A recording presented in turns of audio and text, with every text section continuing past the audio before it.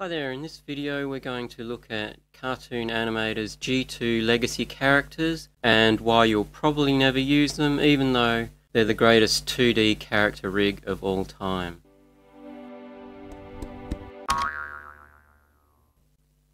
Hi there, my name's David Arundel, otherwise known as the Extraordinary Tourist and sometimes known as the Lazy Animator. And in my previous couple of videos I've looked at Cartoon Animator's G1 characters and G3 characters. I thought we'd do the complete set and have a look at G2 characters in this video and see whether you can still use them with Cartoon Animator 5 and what you need to know if you are going to do that. So what are G2 legacy characters? Well, the easiest way to describe them is just to show you what made them unique and different from the original G1 characters and G3 characters. So here on the screen I've got the one of the G2 dummy actors that you got for free when these were released with uh, Cartoon Animator 2 which was then known as CrazyTalk Animator 2 and these characters were mostly flash based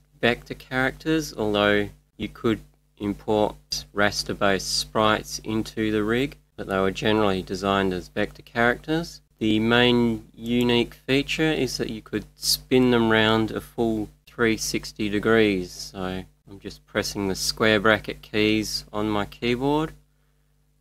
You can see I'm spinning her around through, I think it's has actually has 10 angles, so we can go either way. And there is a top and a bottom view that you can look at as well, and I'll show you that when we get into the character composer. But essentially, it was a 360 degree character that was able to accept motions from 3D motion files. Uh, once you'd applied a 3D motion, it was also editable as a 3D motion. It wasn't flattened into a 2D motion in the way that G3 characters, when you apply a 3D motion to one of those and then apply it to the timeline, it's flattened into a 2D motion and you can't edit in, edit it in 3D again, whereas these characters, uh, the motion would remain as a 3D motion and you could edit it in the timeline as a 3D motion. Now the reason why Reallusion dropped these characters is that they were extremely difficult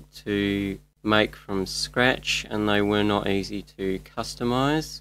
Uh, you can't actually export one of these into a graphics editor as a full template you can import a template similar to the new G3 vector characters, and we'll get into that a bit later. And you can do sprite replacement on them if you wanted to do small edits. Generally, they were so hard to make that most people didn't even try. But we'll get into that a little bit more later and give you some pointers as to where to go if you do want to create these from scratch. But aside from that, these things are still available to buy in the marketplace, and if you are interested in them, there are four really good packs in the content store. Uh, you can buy custom characters in the marketplace, but the content store has the four original Power Tools packs that were released when these came out. So that's these four here, and these are actually in reverse order. That's the first Power Tools and that gives you quite a lot of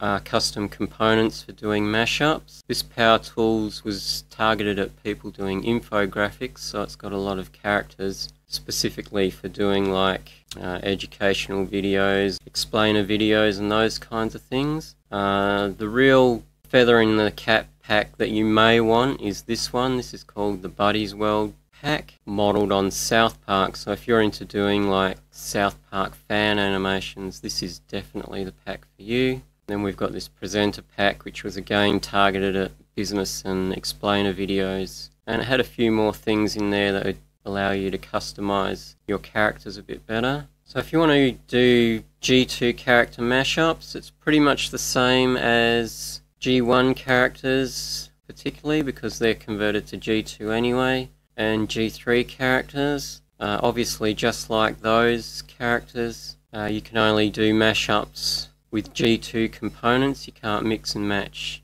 like G1 and G3 heads with G2 characters. And I'm just going to take my face off the screen. So here we are in the character composer. and you'll see here that you've got this little compass thing up here for turning the character so you can see the different angles and you can also see the top angle and the bottom angle. So we're looking at the character from under the feet. So when you're editing these characters one thing you want to keep an eye on is that because they're multi-angle just editing one angle may not necessarily affect all the angles uh, particularly when you're working on the face. I think this mainly counts for when you're moving bones around on the face. So if I select this eye and so I just move it completely randomly over here. You'll see if I go to the next angle the eye will be back in place on this angle but this angle it's where I put it. So if I don't want if I want this change to happen on all the angles of the face just undo that. I have to make sure I've got this box up here ticked which is angle linked. And now if I make that change and go to the next angle you see that's been changed here. And you won't see it there but next angle. And there. So that's just something to be aware of. I'm going to undo that. And also when you're working on the face you've got this mirror option here you can click so that now if I move this eye you'll see the other eye will move as well. So if you want to make the same adjustments to both sides of the face just click that and you'll be right same with the angle linked. If, you, if I turn this now, see both eyes have been moved on this angle as well. Something else that we can do with G2 characters, these were specifically designed to work with render styles. That's this button here. We open this up, like the early version of the color um, management tool for G3 characters. But all G2 characters have all of their colors divided up into these group names. The group names are always the same and when you're customizing one of these characters from scratch you go through this process and put your colors into these group names. You can see here if I click this we've already got all of these presets here and with one click I can turn her into line art, grayscale, neon and so on and so on. I won't go through all of them and you can also have the outlines showing or not. And if you do have them showing you can make them very thin or extremely fat. And the other thing you can do is you've got these color sliders to adjust the various colors. Uh, so if I want to change her skin color in theory I've got to affect the same group selected so hopefully that will affect all of her skin colors. So if I just go change the hue there you go, you can see all the skin colour changing on her there. We could change her skin colour like that. So you've got all this available to you, you see all the group names here for the various things that you can change. You just have to experiment with those if you're changing colours when you're customising them. I'll leave that there. I'll turn the bones off. When you're actually doing mashups, you can save out the heads and things. Uh, I think I've got a couple of body composer packs in here this one, G2 Power Tools 1. So you've got all the face icons here, eyebrows, different eyes, noses, uh, you got the mouths and ears and what have you. And these things are pretty simple. You just sort of select what you want, either click and drag or double click. So let's say I wanted to give put this face on her there. And we'd have to readjust the colours on her. Easiest way to get to it might be just reset everything so that they all match. Bodies, like with these characters, are divided into uppers and lowers. So you've got, if I wanted to change her into this shirt, say, it'll change all the upper half of her body. Or I can do this one. And we've got the lower halves, so all these different pants and what have you. Perhaps do that. There we go. Or could we do that one? And of course, we got shoes as well. So Maybe give her some more casual shoes or something. As you can see, if I turn her around, that's the whole character. So we could change her hair. Go this hair. There we go. So you can customize these characters. Pretty easy to do with all the component packs that you can buy. But you'll notice there's no way in here to actually export the full character template out into any kind of graphics editor. You do have this Swift button up here, which is the button that you would use to import a complete custom template of your custom character. And the only other way you can customize these is through sprite replacement. So you can bring in a new, say, torso image through here. Uh, it will not accept SVG vector sprites, but if you can make SWF flash vector sprites, it'll accept those, so you can keep the vector nature of the character intact. That's the only real way you can customize these easily. And just like the G1 characters, you can use the actor proportions window on here. So if we want to turn her into say a bit of a bobblehead kind of character, it's just one click. We can do that. Stretchy character. Or we can do more pear-shaped, muscular. If that looks a bit too ridiculous, you can change the weighting of how much that affects things. Bring it down a bit you don't want them quite that exaggerated. That's that. One thing that's interesting is that the G2 characters will accept a single angled morph based head. I can show you that with one of my own avatars that I've made as a G2 character. This particular character here, I'll load him in.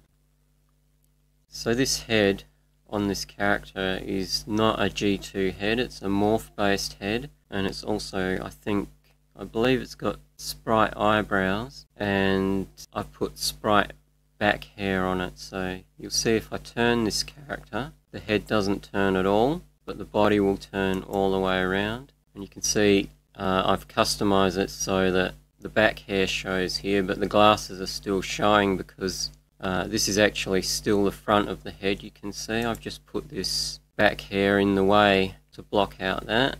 Uh, but ordinarily these glasses would uh, disappear when I'm using this in my own animations. But I just wanted to show you that as well as G2 heads you can actually put morph based heads on these and I did that just because uh, making an actual G2 head is very very time consuming because uh, if you've ever made a character head, you'll know you've got 10 separate sprites for each eye and something like 10 to 15 mouth sprites. And with a G2 character, uh, you have to do those 10 to 15 sprites of each face feature for every angle, which is uh, one of the reasons why these are so complex to make. And I'll put in this particular avatar of myself that is made entirely with G2 components and you can see that one.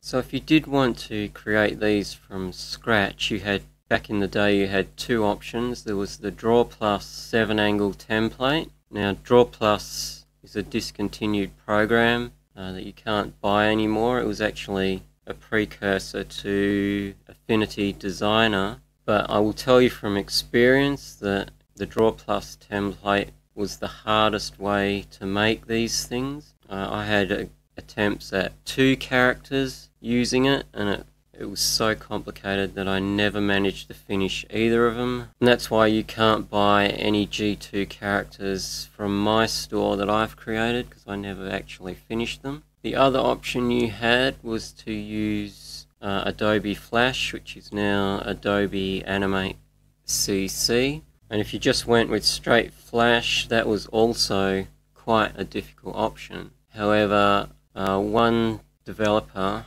who is known as Toon, ToonTitan uh, created this particular app plugin for Flash called Puppet Producer. And basically what it was is a plugin for Adobe Flash and I believe it does work with Adobe Animate CC. And what it let you do was pretty much focus entirely on drawing your characters and you didn't have to think about file names, sprite names or making sure everything was in the right spot in the template uh, because the templates themselves were very strict on how you named the sprites and any little error could completely mess things up, which why which is why they were a real nightmare to use. Uh, anyone who did develop their own G2 characters and got them for sale in the marketplace uh, generally used Puppet Producer to create them. Uh, still a lot of drawing, you've got to draw at least 7 angles to get your full 10 angled character because some of those angles you can just mirror across. But this took all the pain out of actually rigging the characters which was the real hard part of the creation process. So uh, definitely recommend getting this if you're serious about creating G2 characters, this and a copy of Adobe Animate CC and you should be right. And they are really good characters when they're designed well. Uh, you can do a lot with them that you can't do with G1 or G3 characters. So that's that. Now when it comes to animating these characters, that was the real point of difference. When I did the G1 character video, I mentioned the affected by 3D motion settings. That actually comes from these particular characters. So we'll just have a quick look at that. You'll see with G2 characters this affected by 3D motion. All of these are ticked, so perspective is automatically turned on for these. The layer order of your sprites is automatically calculated when you pose them and the sprite replacement is automatically done as well. And because of this, these settings, uh, there's a specific order as to how you go about animating these characters. So what you want to do is apply all your 3D motions first, and then you do this thing called flattening your 3D motions, and then you apply any sort of layer changes and sprite replacement that you want to do after that so that these settings here won't overwrite uh, any changes that you want to make. So we'll just go through that briefly. I'm not going to show you completely how you animate these. If you know how to animate uh, G3 and G1 characters, you should be able to work this one out. But firstly, we've got 3D motions that work with these. So I'll go look in the timeline. I think I'm going to look for just a proper 3D one. Here we go, we get one of these dance motions. Casual dance here. This is a proper 3D motion, so we'll put that in see what we get.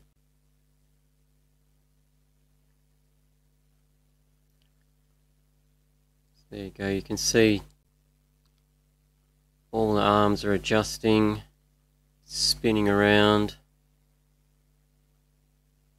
And the perspective on the legs and the feet and the arms is working.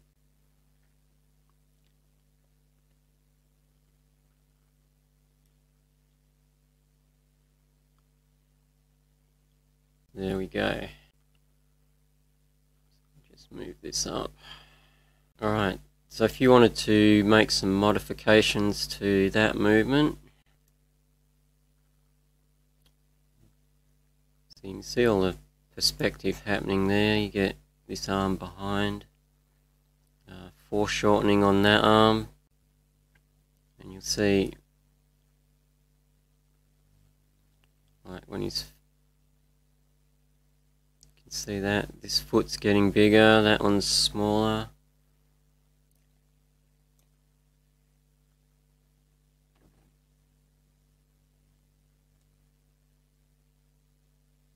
You can see, like, say his arm, I wanted to fix this where his arm's crossed over there. I could do that by going up from there. We open the 3D editor. And you can see in here we can edit this character in real time. And we've got things that we can move this view around just so that we can see what we're doing better. rotate the view and this is the camera here which is what we're looking at here. And these two items here are the ones that actually um, affect the character. So if I want to move, actually move a limb, the selected limb, I can use that. And if I want to rotate the selected limbs, I use that. And you'll see if I use this angle thing, it actually affects the angle of the character. And you'll see just me doing that. Put a keyframe in the angle track down the bottom, but I don't want to do that, so I'll take that off. And you'll see we've got keying modes. You can either keyframe the body part or you can keyframe the full body. Uh, often it's better just do the full body unless you can really visualize what you're doing. And the pinning options, are, I believe, are for when you lock things like the feet and the hands uh, if you don't want feet to say move from a spot or if you don't want them to rotate when you're doing things. Uh, you've got a mirror option, so if you edit one arm, the other arm will mirror it. But anyway, if we wanted to change that arm, sort of fix the arm up, uh, we can put that there, 2D motion. So if we want to just put a key in there, then we'll go to the point just past where that arm is going into the side. So there, put a key in there, and then we'll go to the point where the arm is actually stuck in and looks pretty bad. And now we could move this arm out from that point just a little bit. Now hopefully when we go through from this key to that key and coming back to here and we fix that little glitch with the arm going in through the thing.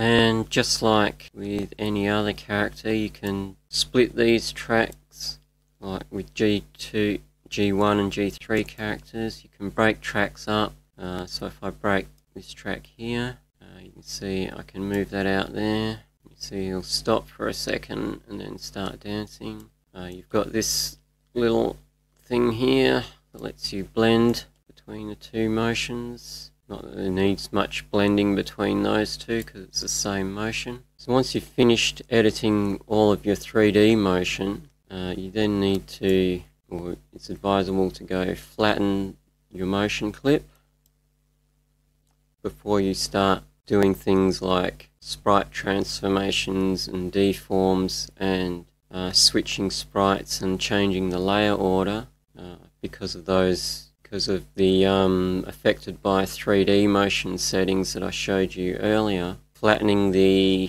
3D motion layer will sort of make this character now work a bit more like a 2D character. Originally this had the name of the motion here and now it's been labelled as a flattened 3D motion just so that you know that it has been flattened. And now we can do things like uh, changing the layer order.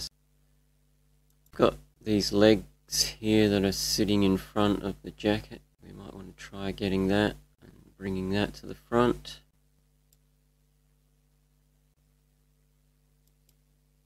There we go. Try front of that. And hopefully that should stay in the front from there onwards. I'm going to leave the animation at that.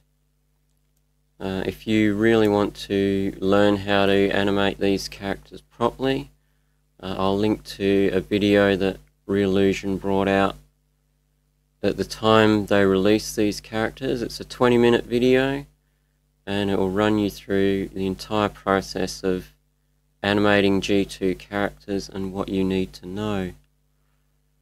But you can see they're pretty good, the way he's sort of easily adapting to these 3D motions and you're not really having to do anything. That is the main benefit anyway, that they can accept full 3D motions and you can edit them as 3D motions even after you've applied them, unlike G3 characters which can also accept 3D motions but once they're applied, they're applied and you can't edit them as if they're 3D after that. So there you go, I hope you found this look into G2 legacy characters informative. Uh, they are still fully compatible with Cartoon Animator 5, uh, though as I said I don't think you'll probably be using them a whole lot, uh, simply because there's not a great deal of options when it comes to customizing them and you have to really like the look of some of the G2 characters that came out with cartoon animator at the time of release. The only caveat I think in terms of whether you use them or not is if you're really into creating South Park fan animations then the Buddy's World characters are really ideal for that and they make it really fast and really quick to do those South Park type animations and those characters are extremely easy to do customizations on because they're such simple designs. And again, if you look in the marketplace, there's a lot of G2 stuff in there that you could add to your collection. Uh, a lot of the characters are vector ba vector based, so they've got that resolution independence, and they're they're just quite good for that. A lot of their props and that you could use with the new G3 vector based characters, and you get all that resolution independence goodness there. But otherwise, I'm going to leave that there. As I said, hope you found it informative, and I'll see you in the next one. Bye for now.